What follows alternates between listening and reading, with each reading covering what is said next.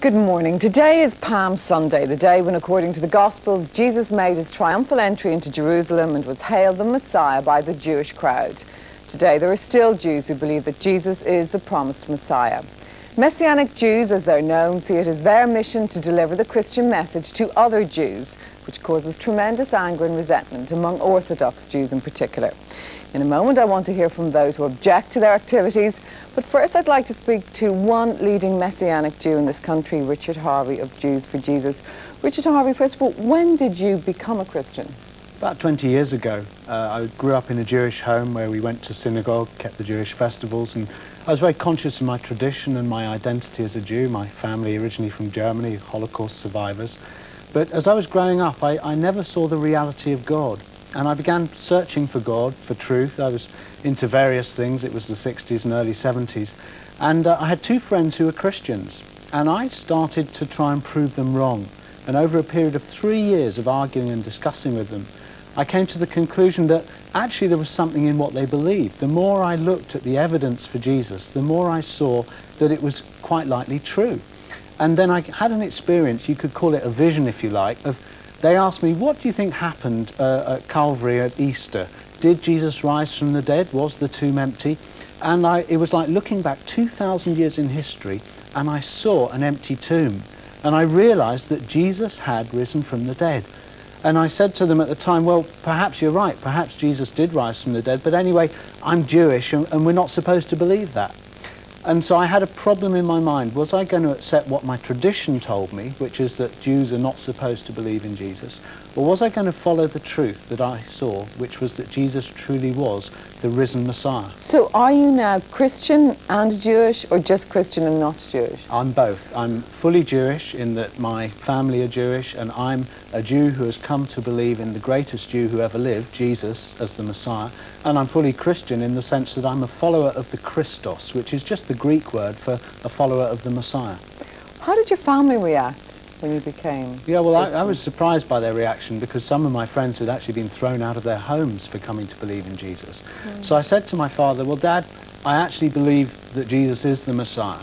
Uh, and he said, oh, that's funny, so do I. And he too, even though he was one of the leaders of our local synagogue and had been uh, sending us to religion school to, to get a Jewish education, he too was not able to find a spiritual reality in the synagogue. And he began searching too. He became a Christian, a Messianic Jew, about the same time as me. So did my brother and my grandfather. But it must mean that Judaism alone for you then was not enough. Well, Judaism is a wonderful religion, but the best thing about Judaism is yet to come for most Jewish people, and that is the Messiah. Jesus, if he is the Messiah, as I believe he is, he's the missing key to not just Judaism, but all Jewish identity. Most Jewish people today are not strongly religious, but they know that they're part of that covenant people of God, if you like, through the line of Abraham, Isaac and Jacob. So if you're a Christian and a Jew, I mean, which services do you attend? Do you go to synagogue or do you go to Christian church? Well, you get the best of both worlds, but I've been uh, involved now for a number of years with a growing number of Messianic Jews. And Messianic Jews have their own synagogues, which are fully Jewish and fully Christian. So we keep the Jewish festivals. After all, Jesus celebrated them every year of his life, and they point to Jesus being the fulfillment of all that the Hebrew Bible, the Old Testament, looks forward to. And I also am very happy to be part of the whole church because at the end of the day, Christianity is, is the fulfillment of biblical Judaism. So do you feel at home with, say, the prayers and rituals of Christianity? Well, yes, it's not part of my culture originally. My culture was saying the Shema and it was going to uh, services in Hebrew in synagogue. But what I've found is the good news that Jesus is not just the Messiah for Jewish people. You don't even have to be Jew Jewish to believe in him. And the church is, is made up of everyone. Rabbi Shmuley Boteach from the L'chaim Society, which is an Orthodox Jewish society, do you have a problem with Richard? With I have no problem with Richard. I have a problem with Richard, Richard's activities. Richard has a right to believe in anything he wishes. But the moment he begins to prey on vulnerable and uneducated Jews, people like himself who weren't afforded the benefit of a Jewish education, who are therefore susceptible to Christian missionary claims, uh, I do have a problem with that. On the contrary, Jews should find meaning within their own tradition. Um, let's just remember that Jews for Jesus is an oxymoron. It's like Hindus for Buddha. It's like Muslims for Christ. Anyone from any tradition would be offended by labels such as those. Um, Christianity and Islam for a Jew represent valid ways by which a man or woman can draw close to God and achieve salvation, absolutely. What we must do is create a tolerant society, not just physically where we abandon racism, but a tolerant society where different faiths accept and respect each other. But if we want now, a tolerant society, why can't you be tolerant of Richard Harvey, who's a Jew who believes that I have Jesus no problem Christ with Richard Harvey. He can believe whatever he wants. Richard Harvey has a problem with me.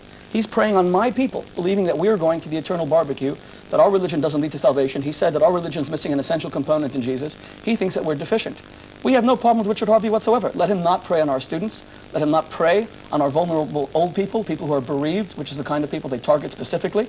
They look for people who are going through emotional crisis and an identity crisis. And I find that very, I find that deplorable. Remember, it's not for the Jews to refute Christian missionary claims that Jesus was the Messiah. It's on the Christians to prove to us that he was, because the Messiah was supposed to accomplish certain things. He was supposed to bring about world peace. There's no world peace. He was supposed to bring about resurrection of the dead, not just one empty tomb, but millions of empty tombs. That hasn't happened. He was supposed to bring about an end to conflict, an end to contention, an end to jealousy. These things are rife within society.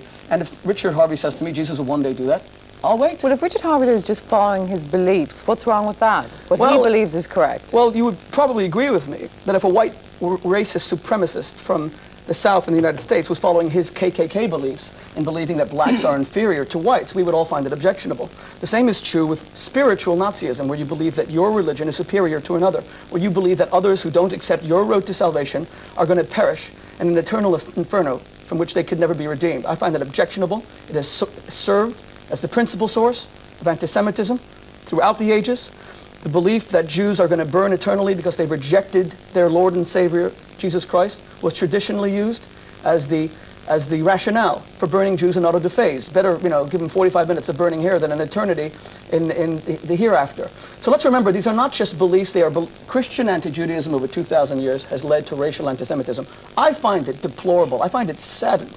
I find it nauseating, to be honest, that we live at the end of the 20th century, after a century that has witnessed so much violence against Jews, and we have people from within our own community who are preaching to other Jews that they are never going to be saved and there's only one way to achieve it. What about Muslims, good, honest Muslims who believe in, in, in the prophecy of Muhammad? What about good Jews who believe in the Mosaic tradition? Okay. Why does Richard Harvey have a problem with us? We, we love Christians and we want Roberts them here. to achieve salvation their way. Vaughan Roberts, you're an Anglican.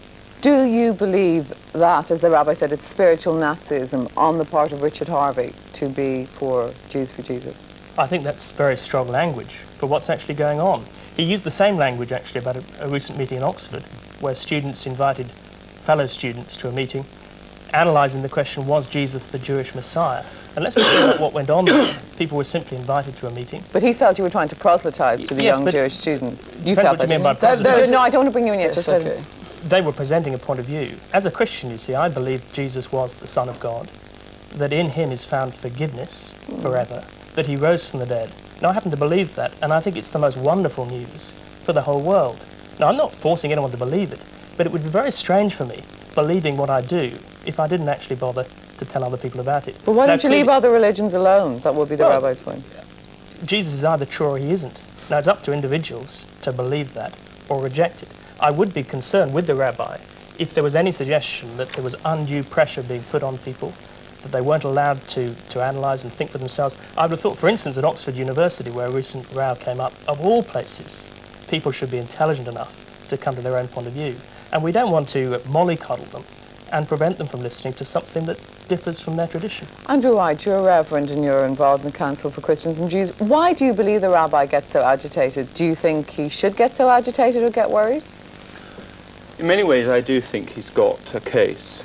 Christians have failed to understand so much of the pain and suffering that the Jewish people have actually suffered at the hands of Christians over 2,000 years. And I think particularly in this post-Holocaust age where in almost our generation, six million people have been systematically murdered, not as a Christian project, but certainly uh, the Holocaust could not have happened if it wasn't for the Christian environment, if it wasn't for the teaching of the church, which taught that the Jews were finished with, that the church was the new Israel, that everything which previously applied to the Jews now applies to so the church. do you believe, sorry for getting across you, that it is not your role to proselytize to Jews? What, I, what I'm saying is that Christians must first understand the sufferings of the Jewish people. But should they try to convert Jews? I'd be very hesitant to recommend that Christians went around trying to convert Jews. I think, first of all, we've got to actually understand something of our faith in Judaism. I think Christians have got a lot to pay back to the Jews. Christians owe an incredible amount to the Jews for their own faith, for their own salvation. I would say, as a Christian, I share in the faith of the people of Israel, and I share in the salvation of the people of Israel, though I would say I share that by Jesus. What about no one comes through the Father but through me? A, a very profound statement, and I would say that Jesus speaking as the Word come flesh, become flesh amongst us, is saying that the Word of God is the means of salvation. Now, some theologians have said that Jesus is saying that he is the Torah made flesh come to dwell amongst us. So he's saying that the Torah is the root of salvation. Now, I'm not saying I agree with that, but there are Christians who would actually believe that Judaism is a valid means of salvation, that Christians share in that, and therefore would not um, So just before I bring right, so are you saying you don't believe that Jesus intended to found a new religion? No, I don't believe Jesus did intend to find. I think very little evidence in the New Testament to say that he was about finding a new religion. And in that way, I can agree with Richard when he says he is actually Jewish. Vaughan, do you agree with your fellow Anglican? I agree that Jesus didn't come to found a new religion. He came to fulfill what he saw in the Hebrew Scriptures, our Christian's Old Testament. And that was good news that broke through the boundaries of Judaism and uh, brought good news for the whole world. So to that extent, I do agree with Andrew. But it's still good news for everyone. This is the staggering thing for Jews and Gentiles. Of course, the surprise then was it was good news for Gentiles. But is Judaism a valid means of salvation? Jesus Christ is the way to God. But is Judaism? I'd point people to Jesus Christ. And Ju Judaism, of course, the Hebrew Scriptures do point people, I believe, from my perspective, to Jesus the Messiah. But do you believe the Jews are the chosen people? I believe that uh, God had a special plan for the Jews and still to convert to Christianity. That was a special plan, ultimately. Vaughan, I, I, am, you know, I'm sorry, but I find your worldview incredibly shallow and quite disturbing. Um, we are at the age, we're in a new age in which people believe not just in tolerance, but in a multiracial society where races actually are enriched by exposure to one another. You have a very shallow view. There's only one truth that being white is the only way, being male is the only way, perhaps, being Christian is the only way. Uh, aren't we at an age in which we recognize there's more than one path to truth, that people can fulfill both their spiritual and their physical potential in different ways? Why are you such an exclusivist? Don't you realize that this belief has led to such horrors throughout the centuries because people believe that I have the truth and you don't? Don't you, aren't, doesn't your conscience pang you at times that you have this belief that Jews are all wrong? But how are you so sure that he wasn't the Messiah? How are you so sure? Firstly, as I said, it's not for Jews to refute the messiahship of Jesus. It's for Christians to prove it. The fact is that Jesus did not fulfill any of the messianic prophecies. That has nothing to do with the fact, and this is not part of the discussion, that I respect Christianity as an absolutely valid means by which people can approach God.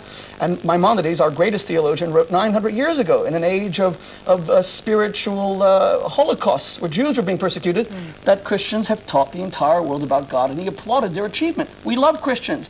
I believe that Jews, Christians, and Muslims must band together to create a society where religion becomes relevant. Instead, we're here fighting each other yeah. instead of instead of fighting secularism, which is the real enemy, where people are embracing mammon and embracing money okay. rather than embracing God. You're misrepresenting what Christianity says, and you really haven't paid enough attention to what the message of, of Jesus is. Firstly, we are not saying that uh, you have to be Jewish to believe in Jesus. We're saying that Jesus is for everybody. Now that is going against your Gnostic form of inclusivism, of saying that everybody has their own truth.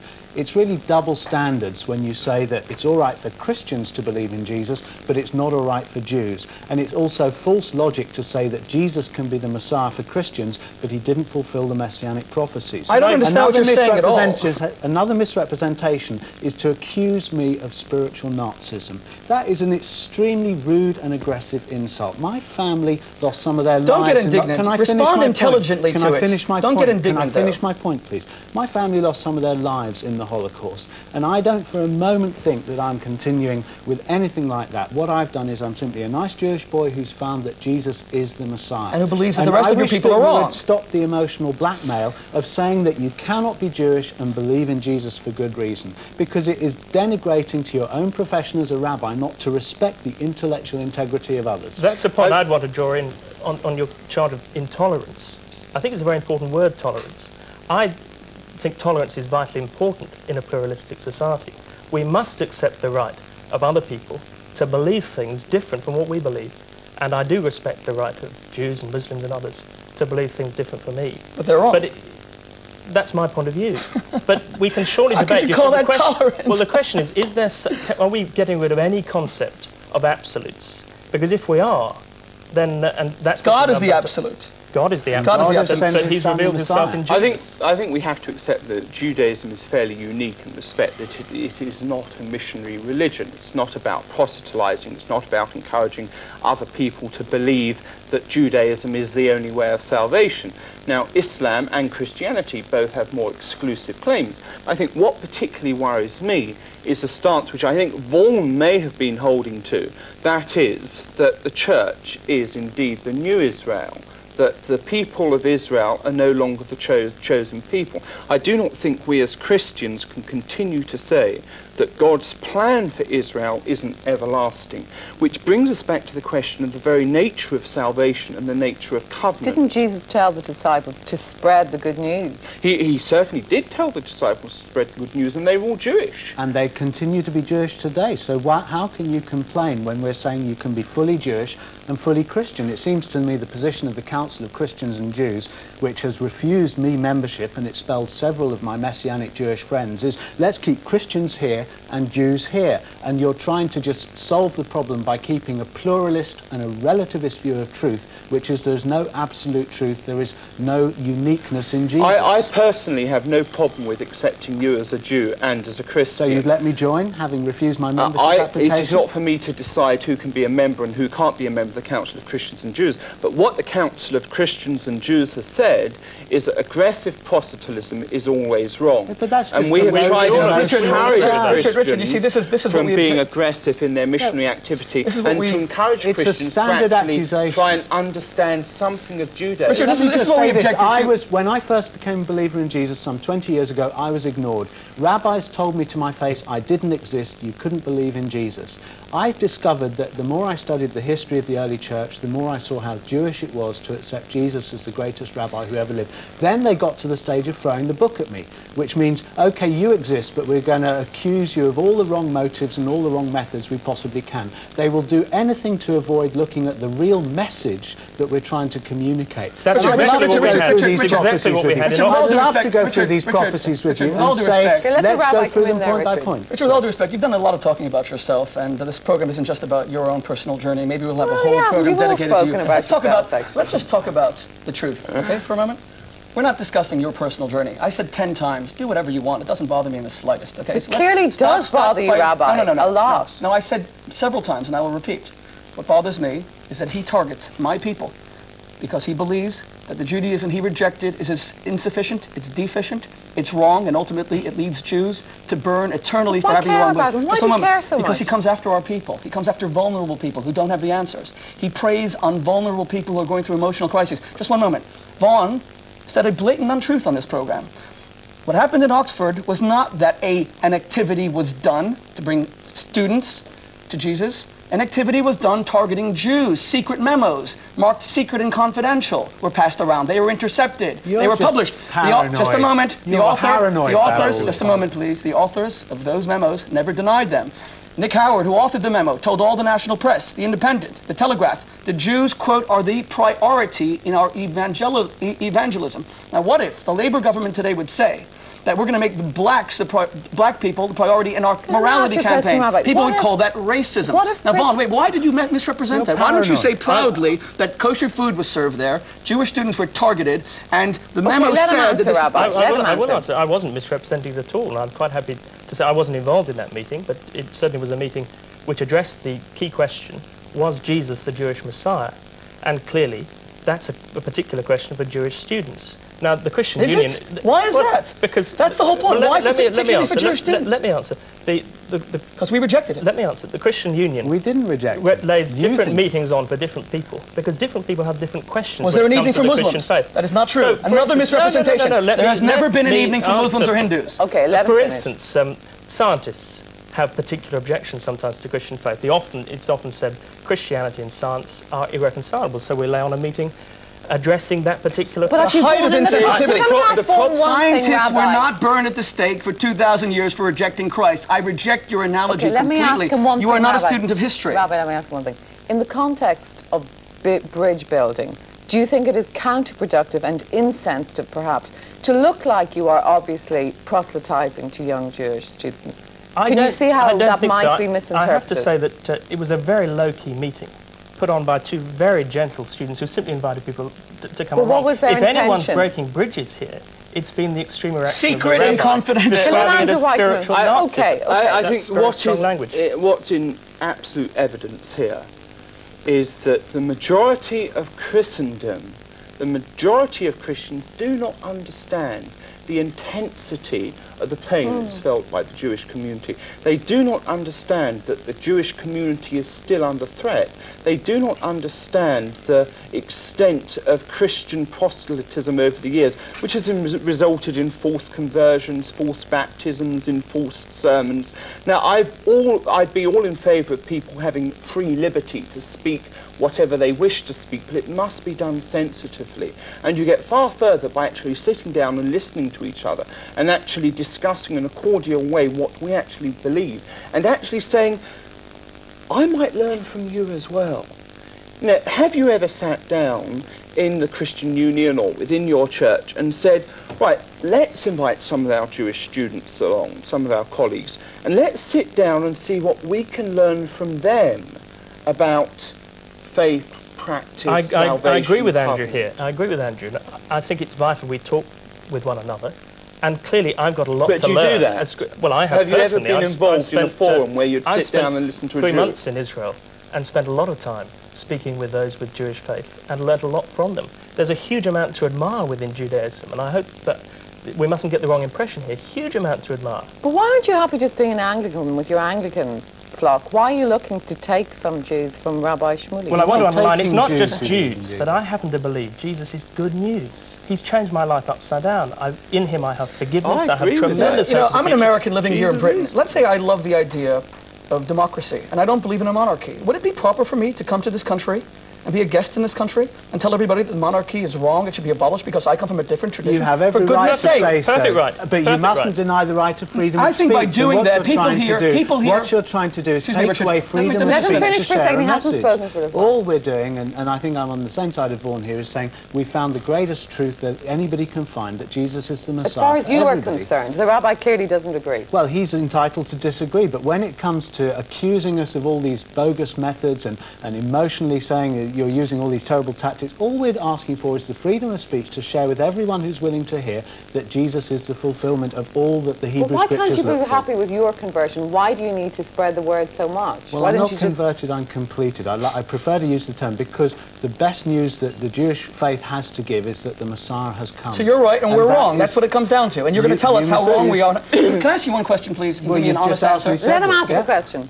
Do you believe that the six million Jews of the Holocaust who were not baptized, who didn't believe in Jesus, who were not Christian, do you believe that they today are in heaven? I wouldn't presume to judge, but let me tell you, You the answer the 200. I just, I've asked I him this. I I've wouldn't asked him this to judge on many media forums. The He will not say that the six million you six please let million me Jews of the Holocaust But are in heaven. not I going to say wouldn't it he doesn't presume to believe judge. it. What right have you got to judge the faith? I of say they're in heaven. All Where do I you say know they is are? that the only sure way to get to heaven, and I hope you find that way too very soon, is to find Yeshua as the one who came See, back. thi- You, my friend, are a spiritual Nazi. That is exactly No, my I'm charge. not a spiritual Nazi. He has just said. He has just said. the Let- let dignity. him He has just said that the only way to be saved is by believing in Jesus, meaning that everyone who doesn't is damned. Well, let's, put let's just think spiritual mouth. about this. crematoria. Put That is- words in okay, my mouth. that, sir, Let's say one that. that, thing sir, has Rabbi. led to Think about this say one thing. Rabbi, though, why are you so insecure? Why not ignore him? Why not be sound and secure in your faith We- we- and ignore let, him? Let's remember, we have ignored Richard Harvey. He just said the rabbis ignored him. He said that he's been ignored his whole life. That's what he said in front of these television cameras. But you're he talking comes to just me a second, right please. now. You can't just a second, deny the please. fact that he's Jesus is coming the after Messiah. us. He comes to our students. He comes to meetings that they organize. They give the students kosher food. Secular students who were never exposed Okay, to their let tradition. Andrew White Wait, make wait, wait, one point. When a Christian student comes to me at Oxford and says they don't believe in God, I send them to a pastor and I say, you must find fulfillment with your own tradition. They should be doing the same thing and they Brief should respect word, I think what's so sad about this whole uh, friction going on here is that Jews and Christians actually have a relationship with each other. As Christians, we wouldn't be Christians if it wasn't for the Jews. We have, uh, we belong to each other. And yet we've got to ask the question, what did God mean when he said to the people of Israel, you will be my people forever? And he made a covenant with Abraham. This is a covenant of land and people eternally. Andrew White, I have to cut you off there. Gentlemen, thank you all very much for coming in this morning. Thank you all very much for watching. Have a good Palm Sunday. Goodbye.